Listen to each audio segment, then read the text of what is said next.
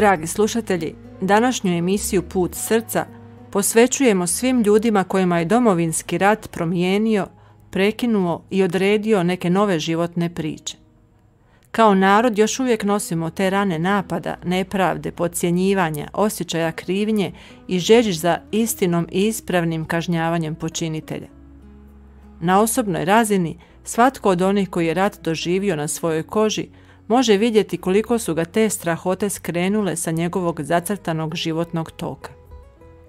Ipak, u Božoj svemogućnosti, opet je svatko od nas mogao izabrati hoće li dopustiti da ga ta ratna tama proguta u mržnji i nepraštanju ili da se po vjeri trudi okrenuti praštanju, prihvaćanju i onome što je dobroga u svemu dobio.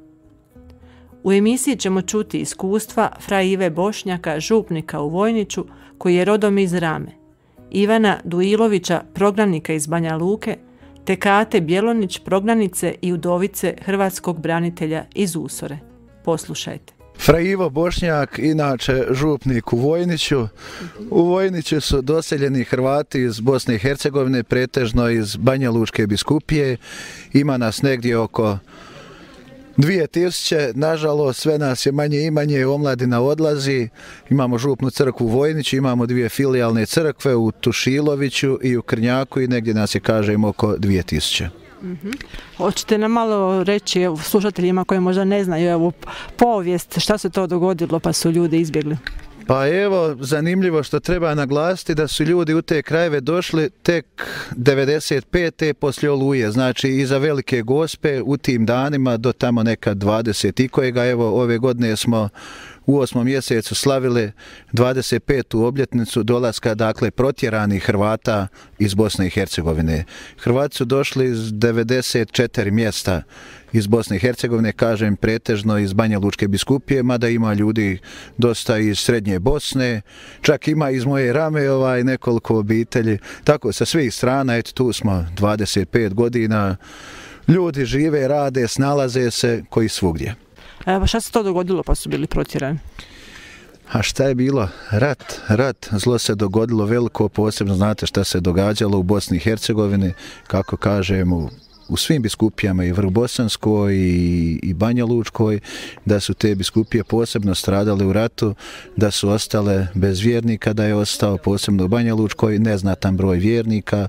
Evo, ljudi su silom prilika došli na Kordun u te krajeve, dakle Vojnić, isto tako Župa Guvozd, gdje je naseljen svijet, kažem, iz Bosne i Hercegovine, pretežno Banja Lučke biskupije i Travničkog kraja. Mhm. Ja sam Ivan Dujlović iz Vojnića, inače sam izbjeglica iz Banja Luke. Sad više nismo izbjeglice, 25 godina smo već domaći u Vojniću. Tako dođemo, ja mislim da sam peti put u već u Međugorju. Prije sam puno više radio, morao sam malo se skust, sad je već lakše, a i zbog ove korone dođemo, manje radimo, pa onda možemo stići svakdje idemo. Često idemo na hodočašćenje, Međugorje, Marija Bistrica, tako obiđemo ta svetišta, Sveti Ivo Jajce, da. Mm -hmm. Imamo ovoga mladog župnika, on je već treća godina kod nas, on nas vodi, mm -hmm. hodočasti i tako. Mm -hmm. Radimo, uređujemo crkvu u Vojniću isto. Sve pomoći. Onda bi mogli reći da, da korona nije samo neko zlo, nego evo, korona vas je potakla na, na evo, čini mi pa se, upravo... jednu veću molitvu i dublji religiozni život. Pa upravo tako, sad možemo manje rad, nemamo, ne moramo se iskupljati odat, ali možemo se ovako družiti po manje autobusi, da se malo krećemo, uvodamo, hodočastimo i tako. Mm. Ali evo ekonomski, ipak je li korona vas, mislim, učini štete ekonomski, ali ljudi ostaju bez posla, kako to evo se nosi s tim kod vas? Pa jeste i nas, kao u cijelom svijetu i u Hrvatskoj, tako i kod nas u Vojniću malo manje se radi, ali dobro, opet se more preživljavati. Mm -hmm, znači, Živimo normalno, mm -hmm. ne moramo ni imati puno. Ka kako smo ono zadnje vrijeme, svi smo navali, samo obradili, uvijek nešto fali. Mm -hmm. Sad kad smo vidjeli kako je došla korona, ne fali nam ništa. Sad sve stignemo i sve imamo i sve možemo. Mm -hmm. o, samo ću se još malo vratiti na ove, na ove godine kad ste e, izbjegli, kad ste odlazili. E, u čem bilo vas, od straha ste odlazili? Kakva je to situacija bila u Banja Luci pa ste trebali otići? Pa normalno iz straha, iz uh, sile. Morali smo otići, jer 95. svi su uh, braća Srbi iz Hrvatske došli u Banja Luku. Normalno bilo je oko 300 tisuća, mi smo morali otići. Mm -hmm. Htjeli, ne htjeli, morali smo otići. Gdje smo? Morali smo Hrvatsku, neki su ošli u treće zemlje koji su mogli. Mi smo ostali tamo, popunili smo ta mjesta gdje su bili Srbi. Kasnije su se oni vratili, mi smo neki su skusili, neki su opet otišli. I dobro, živi se dalje, šta ćemo, neki su se vratili, malo nas se vratilo u Banja Luku, možda na sve ukupno ima sa 4000 od prije 40.000 što nas je bilo. Mm -hmm. A šta ćemo, život ide dalje, ne, moramo mi stalno se okretati prošlosti, moramo živ dalje. Mm -hmm. Vi to nekako će vi se pozitivno nosite. Jučer sam imala jednu hodočasnicu iz e, Vukovara koja mi je tako pričala kako je ona prošla izlazak iz Vukovara, pogibija supruga na ovčari, pa evo kako i dan danas još nosite traume u sebi, pogotovo djeca nose traume jer su evo baš isto tako ostala na putu bez evo, svega. E, kako, kako, kako vi evo, se nosite s tim traumama iz rata? Pa zašto? Zato što mi smo se isto propatili. Nije iz moje uže obitelji niko poginuo, o iz ove drugo, treće koljeno jeste, ali iz prvog nije zato i onda kad smo došli tu, krenuli smo odmah rat, posle rata i nismo imali vremena razmišljati više o tome. Mislim, razmišljamo odmah, e, u glavi je uvijek taj rat ostao, ali moramo živ dalje. Ne možemo sad pokoleba se i da sad djeca cijeli život nose te e, scene iz rata. Bili su tad mali, sad su već i zaboravili. Da, nisu zaboravili, imaju u glavi, ali ne možemo i stalno opterećivati s tim. Ratuje se i sad, uvijek se u svijetu negdje ratuje. A da, i mi moramo više malo pomiriti se s tim, sa tom sudbinom i sa tim životom. Dobro. I moramo ići dalje, nema druge. Dobro, hvala puno. I još imamo zadnju gošću. A, ja sam Kata Bilanić, e, hrvatska udovica poginulog branitelja iz Osore, Ilija Bilanić. A, ovo me danas malo svjedočenje dotaknule su vaše riječi, spoznaja za majčino selo. Onda evo da posvjedočim kako je to Međugorje jako pomoglo mojoj djeci kad sam ja bila u valu tog rata. Ostala je uh, tri i pet godina. Dan danas to su traume. Uvijek me to dirne. Danas me na, na brdu kazanja isto dotaknulo. Uvijek me dotakne ne žalost, nego radost što nam je Bog tako dao, jel?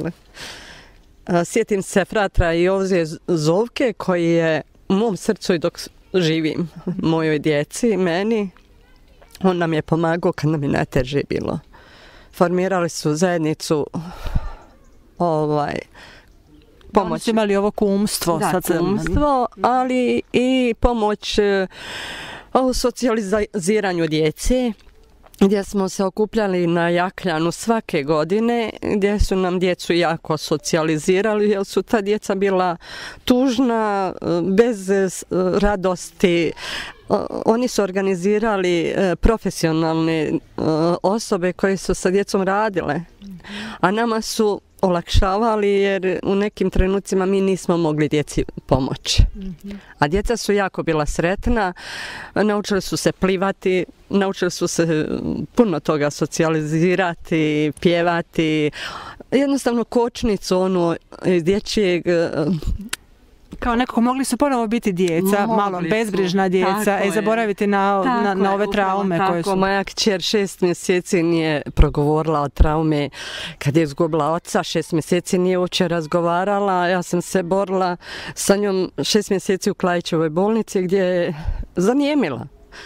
I onda nakon tih svih, jel, tretmana. tretmana, pomoći ljudi i tih udruga, djete došlo do svog govora. Mm -hmm. Da. I danas, evo, sretne su, udate su, imam četvoro unučade. Uh, I dan danas postoje te traume u njima. Mm -hmm. Kako, i kako se ispoljavaju, kako vidite? A, ispoljavaju se, evo primjer, moja kćer kad bi prvo dijete zazvala, došla sam da je obiđem, I kad je trebala djetu prvi put reći, tata, plakala je, ja sam, misl, ja sam došla i mislim se sad jako plače, nešto se desilo. Ona je meni u tom momentu rekla, mama, ne znaš kako mi je teško izgovoriti to ime, jer mi jako fali. Znači, od samog početka učenja djece govora, ona je i dan danas uvijek im hvali. Znači, fali im u, u, u veseljima, u radostima, u, u svim tim druženjima. Imam uh, um, nekako manju vrijednost jer im ja ne mogu sve to dat koliko bi one htjele da imaju od oca. Mm -hmm. Kao jedna praznina za ovih ostala. Praznina jako velika koju ja nikad ne mogu i jako sam tužna, ne mogu nekad. Uh, pomislim se, bože moj, možda, možda me ta djeca ne vole mislim, vole me, ali ne vole me zato što taj nedostatak nema, a ja im nisam mogla nikako. I tako da mi da, dan danas i dok živimo, uvijek ćemo biti u tim mislima nedostatka toga i što god da i na bilo koji način da su sretne, presretne, da imaju život vrhunski, uvijek taj jedan nedostatak ima tuge koju ja ne mogu nadopuniti. Mm -hmm. Znači, rat je nešto prekinio za, za uvijek. Za uvijek, za uvijek.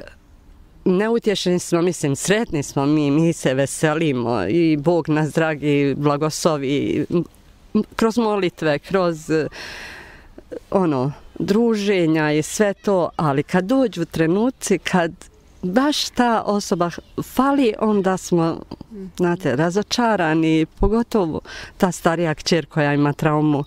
Cijeli život ova je mlađa bila tri godine, pa nije toliko doživjela oca, ali ova starija već dan danas kroz tu traumu prolazi. I samo samo zadnje pitanje, e, je li vam vjera po, pomaže u vjera. nositi sve te Moja mlađa kćer kaže, mama, da nema vjere, ja bi bila izgubljena jednostavno moli, kroz molitvu imaju snagu. To su spoznale, a to opet zahvaljujući fratru Jozu Zovke koji je vodio takav program gdje su djeca jednostavno zavolila i molitvu i druženja i sve. Jednostavno tu kočnicu od malih nogu, a i ja sam, ja sam, ja puno sam toga uh, znači u crkvu redovno sam mi vodila, one su volile pjevati, one su volile znači ići na te vjeronauke. Mhm. Znači nekako taj e, vjerski odgoj od malena i sad daje plodove. Je, vjerski odgoj od malena i dan danas, ali uh, hvala Bogu na tome. Uh, ja sam presretna jer moja kćer, sa mnom zajedno krunicu moli svaku već u 10 sati, bez obzira na kakve obaveze imale, znači ona poželi da moli zajednički molitvu i to me jako ispunjava i mene samu, jer i mene ta molitva, ja svjedočenje Božje, imam cijeli svoj život što nas je vodilo, cijeli život, kad nik, nismo mogli zamisliti da ima izlaza, Bog dragi samo otvori vrata jednostavno, evo, svjedočim na vjeru i na ljubavi i na sve. Znači, uh, čovjek bez vjere, kako bi rekla, čovjek bez duše i tijela. Eto. Hvala puno.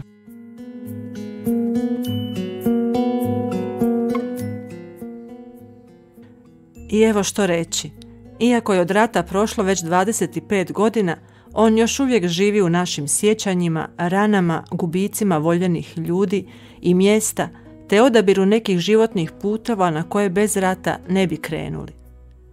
Ovaj rat iz naše prošlosti ne možemo promijeniti, ali možemo promijeniti naš stav prema njemu danas.